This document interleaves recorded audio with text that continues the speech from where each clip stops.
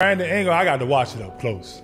You know, just how I used to watch me in practice. Like when I was in when I was with the Lakers, he was the same way. Like Mm. couldn't really get, but he bring that to practice.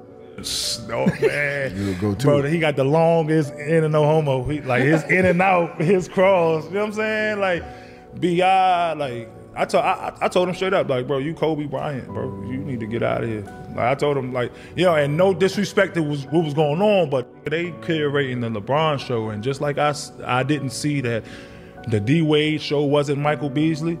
I told him like, Bi, you need to get out of here.